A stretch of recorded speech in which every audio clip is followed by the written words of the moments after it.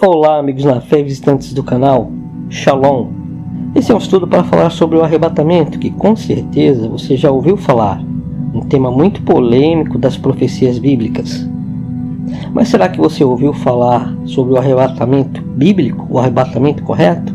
Então preste atenção nesse estudo, porque esse estudo pode trazer uma revelação para você.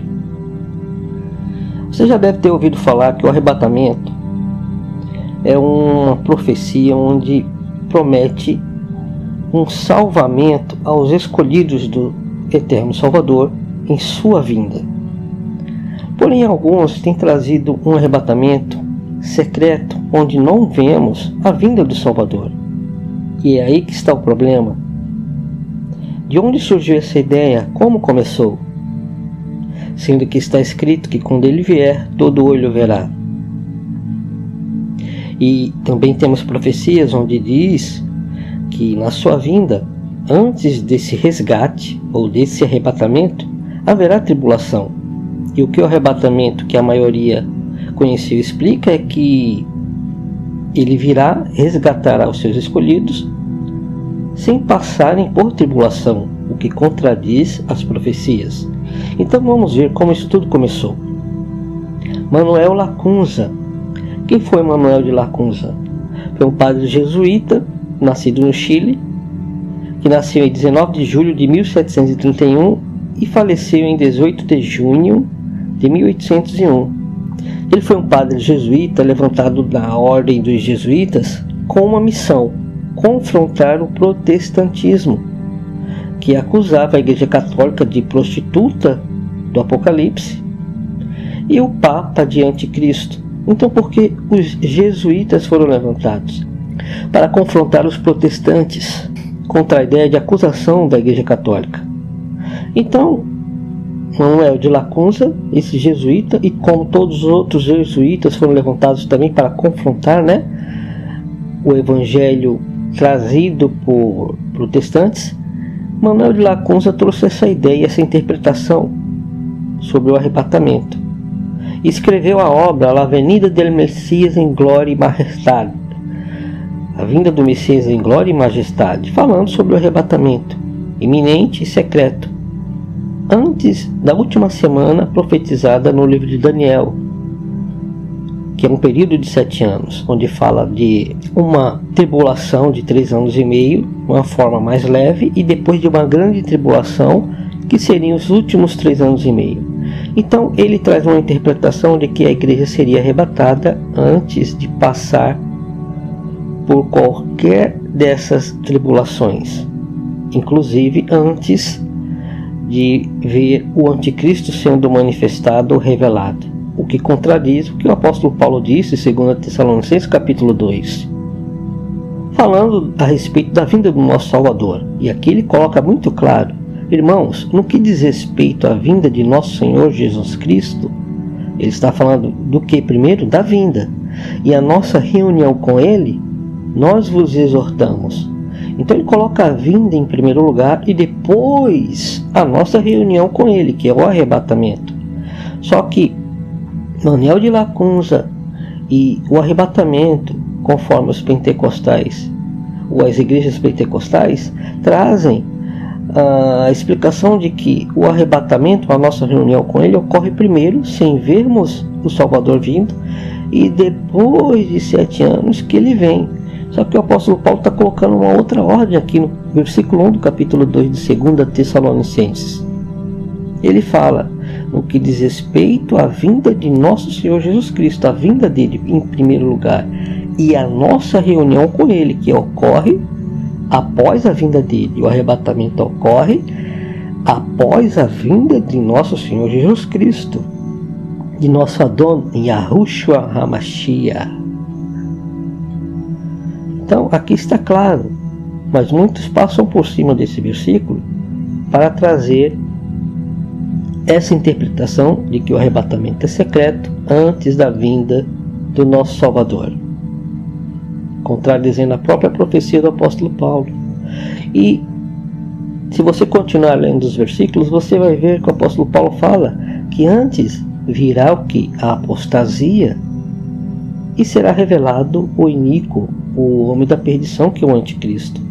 Então Manuel de Lacunza ele trouxe essa interpretação realmente para confrontar essa verdade aqui que os protestantes entenderam e infelizmente naquela época Manuel de Lacunza, como outros que vieram depois dele, como Margaret MacDonald, que teve uma visão aos 15 anos de um suposto arrebatamento antes da tribulação. Embora alguns leem o seu texto, né, sua declaração, pensem que ela fala que a igreja passará por tribulação e aponte para um arrebatamento pós-tribulacional.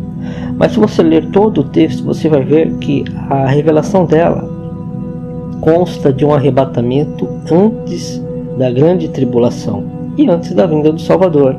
E usa aquela passagem de que dois estarão no moinho, um será levado e outro deixado.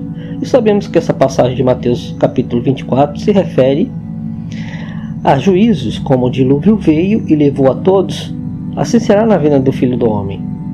Então o juiz virá e um será deixado poupado e o outro será julgado, né? morto. Como o dilúvio veio, assim será na vinda do Filho do Homem. Um será poupado e o outro realmente será morto, aniquilado na sua vinda. Então eles inverteram as interpretações nas profecias. E em capítulo 2 de 2 Tessalonicenses, do versículo 2 até o 8, fala claramente que antes da vida do nosso Salvador e da nossa reunião com Ele, que é o arrebatamento, será revelado o iníquo e virá também a apostasia antes disso, e prepara o mundo para a aceitação do iníquo ou do anticristo. Então não tem como o arrebatamento, a vida do nosso Salvador ocorrer sem que antes essas profecias se cumpram mas porque muitos protestantes ou evangélicos creem no arrebatamento assim, secreto, antes da vinda do Salvador. Porque essa ideia foi muito difundida. Eles conseguiram atingir uma meta na, nas suas missões.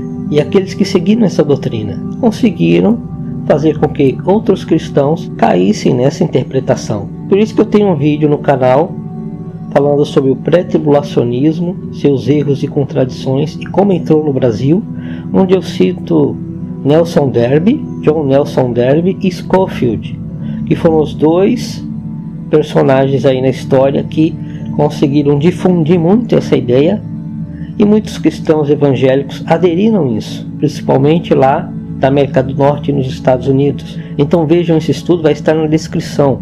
E ali eu cito eles e falo sobre como essa ideia entrou no Brasil, fazendo com que a maioria das igrejas interpretem o arrebatamento dessa forma equivocadamente. Vejam esse estudo para completar esse estudo aqui. E a partir do século XX, essa ideia cresceu mais com Tim LaHaye, que é um escritor estadunidense que escreveu vários livros e são bem conhecidos hoje porque viraram filmes, filmes de ficção falando sobre o arrebatamento. E com certeza você já deve ter assistido ou ouvido falar de Deixados para Trás, que traz toda essa ideia e interpretação do arrebatamento secreto antes da vinda do Salvador visível para todos verem. Então, essa ideia cresceu e se divulgou muito no mundo. E as igrejas aderiram Mas por que aderiram a essa ideia? Porque entenderam que seria a única interpretação ou a interpretação correta sobre o arrebatamento e a vinda do Salvador. Porém, entenderam errado. Em seus dias, muitos outros pregadores discordaram disso. Porém, virou uma ideia popular de que o Salvador arrebatará sua igreja antes da tribulação, da grande tribulação e da revelação do anticristo, o que contradiz o que ele diz em Mateus 24 e o apóstolo Paulo também afirma em 2 Tessalonicenses capítulo 2. Então, entendam que o que está escrito e prometido sobre o arrebatamento é que antes virá uma grande perseguição e será revelado o anticristo, aquele que quer ser o Messias no lugar do verdadeiro Messias, nosso Salvador. Então, depois disto é que virá o nosso Senhor Jesus Cristo, como está no versículo 1 de 2 Tessalonicenses, capítulo 2. Depois disso que virá o nosso Senhor Jesus Cristo e ocorrerá a nossa reunião com Ele, que é o arrebatamento. É assim que está escrito, e não ao contrário. Então esse é um vídeo para você ter esse conhecimento de uma forma rápida. Se você nunca tinha ouvido falar nesses homens aí da história que trouxeram essa ideia do arrebatamento, agora você já ouviu falar e sabe a verdade. Então, firme-se na verdade, nas escrituras, nas profecias, no que está escrito, que foi falado pelos apóstolos e pelo nosso Salvador, e não no que homens acharam que aquilo ali significa. Que o Eterno te abençoe. Shalom. Compartilhe esse vídeo. Se gostou, deixe o seu like. E se inscreva no canal. Que o Eterno te abençoe.